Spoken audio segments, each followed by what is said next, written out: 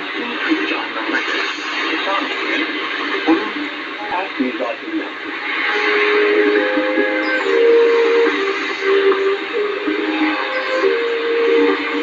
Çünkü dünya malını kına edenlere ve hakkasız edenlere karşı